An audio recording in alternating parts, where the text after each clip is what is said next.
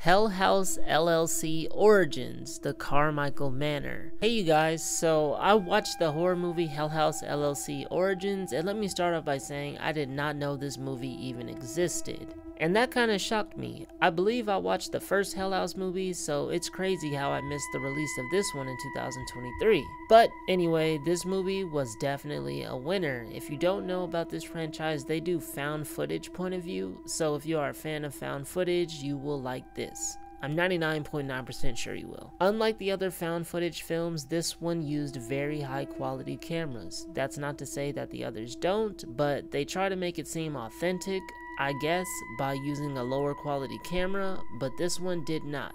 And I actually like that. It looked very good. So here's a brief little summary of the movie. The protagonist, Margot, and her partner, Rebecca, visit the Carmichael Manor in Rockland County, New York. Margot also invites her brother. So as you can probably guess, it takes like a day before things start to pick up, but when they do, it gets, well, I'll let Palpatine say it.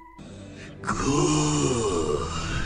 There are shadows appearing in the rooms, clown noses popping up out of nowhere, mysterious noises, full body apparitions, the whole nine yards, right? So naturally seeing and experiencing all this weird stuff makes Margot's brother, Chase, and Rebecca want to leave. However, they decide to leave the next day, but they end up having to stay even longer because get this, Chase goes missing. I mean, of course he does, right?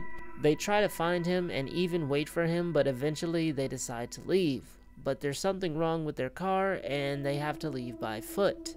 After a couple of scary encounters in the woods, Margot and Rebecca find themselves back at the manor. I'm pretty sure at this point you guys know where this is headed, so I'm just gonna end my synopsis right there. I really like this movie. Never really a dull moment, very similar to the first Hell House, but this one was longer. It gives you more time to enjoy the film in my opinion. I like the characters and there was just enough of everything, just enough backstory to understand Chase's condition, just enough dialogue between Rebecca and Margot to understand their financial situation, and just enough mystery to keep the viewer always wanting to know more. Okay, I'm gonna sort of spoil a part for you, but not really. I knew there was somebody in this from the get-go. It always looked suspicious to me, and I would not have been able to sleep soundly at night knowing this crazy looking thing was posted up in the house with me. But maybe that's just me. Another thing I liked about this film was it didn't feel forced. I mean, sure, some of the situations they put themselves in I would not have put myself in, but it wasn't anything too out of the realm of possibility.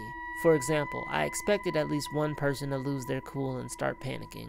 Rebecca, I'm looking at you. And I also expect the entities or whatever to pick them off one at a time. I mean, that's just strategy 101. This film gets a big thumbs up for me, and I'm putting this on my recommended list. If I had known about this film earlier this year when I made my top 10 favorite horror movies of 2023 list video, this would have made it no doubt.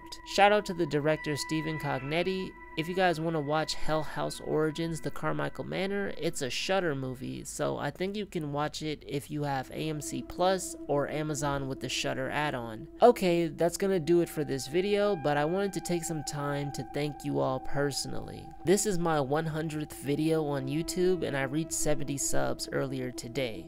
I know it might not be a big deal to other people, but it's a big deal to me. If you have been with me on this journey for a while, you probably know by now that I try to post something every day. Some days I just feel like putting it off or just giving up entirely, but that end goal is so enticing, I keep going, and I really wouldn't be able to do it if I didn't have you guys. I'm trying my best not to sound corny, but we are in this together, and I really do appreciate you. Thank you so, so much.